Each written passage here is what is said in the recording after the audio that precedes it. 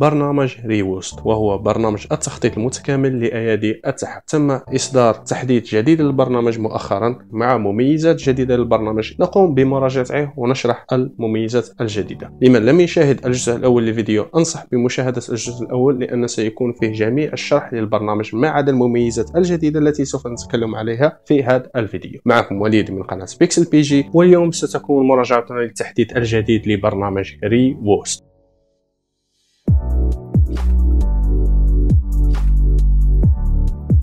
إن إصدار الجديد لبرنامج ريوس 6.3.0 يحتوي على عدة مميزات ومن أهم الإضافات. تم دعم البرنامج بأيادي جديدة وتم تغيير واجهة البرنامج إلى واجهة جديدة بحيث تبقى الأيقونات نفسها وعمله نفسه لكن فقط أماكنها اختلفت بحيث أصبح البرنامج أسهل وأوضح عندي قبل. وقد تم إضافة يد الديال شوك 3 للبرنامج بحيث تستطيع تحويل أي يد على أنها تحاكي يد البلاي ستيشن 3 وأهم ميزة إضافية في التحديث الجديد للبرنامج وهي ميزة mobile controller والتي تسمح لك باستخدام هاتف الأندرويد على هيئة gamepad في الحاسوب.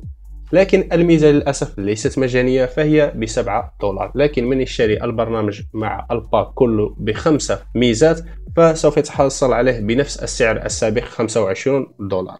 ولاستخدام ميزة ال mobile control تحتاج إلى ربط الحاسوب مع الهاتف عبر برنامج reWASD Junior المتواجد في الأندرويد كما شرحنا في الفيديو السابق. وبعد اتصال ال reWASD Junior سوف تفتح ال navigation drawer لتجد خاصية ال mobile controller. وهنا تقوم بإضافة نوع ال mobile controller. النوع الأول سيكون عبارة عن controller بالإضافة إلى الجيروسكوب. أما النوع الثاني سيكون عبارة عن touchpad أما النوع الثالث والأخير سيكون عبارة عن controller pad وسوف يتعرف برنامج ال reWASD على نوع ال mobile control التي استخدمتها في الهاتف. ويعطيك الحرية الكاملة لتغيير جميع الأزرار ووضع الإعدادات التي تناسبك شخصيا مع الألعاب التي تلعبها. كتجربة سريعة مع لعبة Genshin Impact فهي تعمل بكفاءة تامة وسرعة استجابة جيدة كما هو موضح عندكم.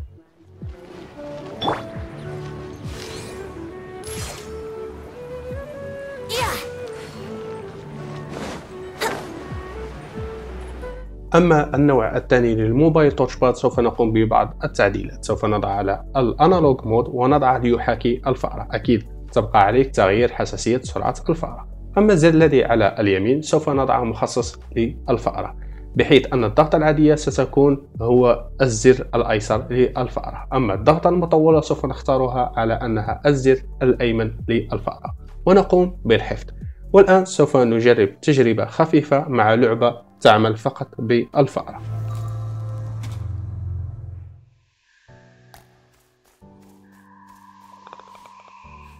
أما النوع الثالث ال control pad فيتميز بزرين trigger و 15 زر في الصفحة الأولى و15 زر آخر في الصفحة الثانية. وتستطيع تغيير أزرار ال mobile controller في برنامج ال reWASD Junior بحيث تضغط على زر ال edit وتستطيع تغيير كل زر على حدة منفصل وتعطيه منطقته الخاصة على حسبك أنت. وتستطيع تغيير سلاسة حركة الأزرار كلها. وزر زائد لإضافة الأزرار في حالة حذفت أي زر كما هو موضح وتستطيع فتح إعدادات مخصصة لل analog بحيث عندك خاصيتان. الأولى ستكون لتتبع حركة نقطة اللمس في ال joystick. ولما توقفها سوف يتتبع حركة السحب للأصبع في ال joystick. وثانيا لفصل الزر المخصص لل analog بحيث أنك لما تشغلها سوف ينفصل زر ال L3 أو ال R3 عن ال analog الخاص به بحيث يصبح زر منفصل عنه. وتستطيع تغيير نوعية الضغطات في كلا من ال trigger بحيث له إعدادات خاصة. والنوعية الضغط الأولى وهي analog track بحيث أنك تضغط على الزر وترفع للأعلى أو الأسفل للتحكم في نسبة الضغط لل trigger.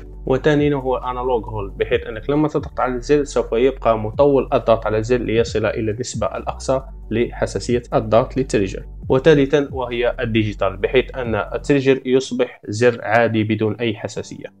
وتستطيع تغيير إعدادات الجيروسكوب.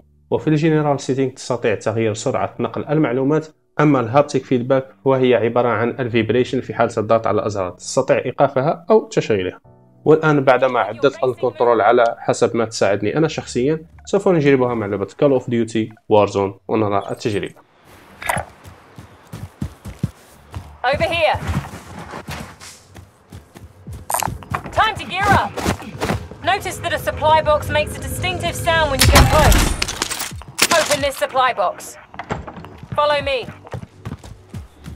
Now that you've got a new weapon, let's put it through its paces.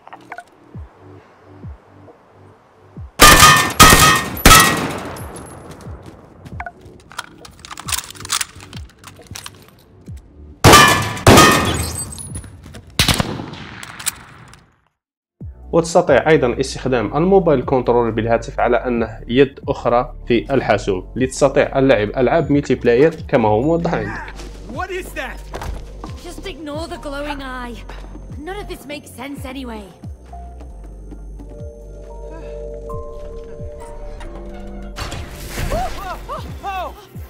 وأكيد لا ننسى المحاكيات هي أيضا استخدامها مع ال mobile control. أكيد سوف تحتاج إلى بعض الإعدادات في المحاكي ليستقبل اليد ال mobile control. وكما هو موضح تجربتي لل mobile control مع محاكي ال yuzu المخصص ل Nintendo Switch. فالتحكم أكيد سوف يكون كامل مع خاصية الجيروسكوب. أكيد كما هو موضح عندكم.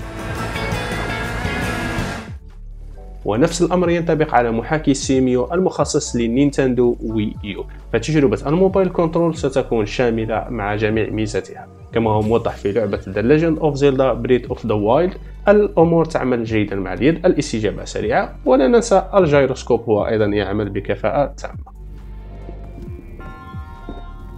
والى هنا نصل لنهاية الفيديو مع تجربتنا للتحديث الجديد لبرنامج reWASD المتخصص في تعديل أزرار أيادي التحكم المختلفة. وقد قدم لنا التحديث عدة إضافات وتصليحات ومميزات نستخدمها في البرنامج وأفضل ميزة وهي ال mobile controller والتي تستطيع استخدام الهاتف على أساس أنه controller أو keyboard mouse على حسب الافتراض الذي تضعه أنت للتحكم مع الحاسوب مباشرة. فقط ملاحظة صغيرة لفريق reWASD من ناحية اختلاف الأيادي الخاصة بال mobile controller فال gamepad مدعومة بالجيروسكوب لكن ال touchpad وال control pad غير مدعومة بالجيروسكوب. أتمنى إضافة الجيروسكوب في كلا من ال touchpad وال control pad لأن ال touchpad استخدامه على أساس أنه فأرة أو حركة تحاكي الفأرة. لو استخدمنا الجيروسكوب هنا وحولنا على أساس محاكاة للفأرة حيكون أسهل وأفضل باستخدام فقط الجيروسكوب على حركة الفأرة وأكيد سوف يكون الضغط على الشاشة هنا أسهل. نفس الأمر ينطبق على ال control pad بحيث تستطيع استخدامه حتى في ألعاب السيارات والتحكم بحركة السيارة وتضع هنا الأزرار التي تحتاجها أنت في اللعبة وتستطيع استخدام الجيروسكوب ليحاكي ال joystick الذي على اليسار لحركة السيارة. الأمر تستطيع وضعه في ال gamepad لكن التخطيط المخصص للأزرار أفضل من ناحية ال touchpad وال control pad في الأفكار التي قدمتها.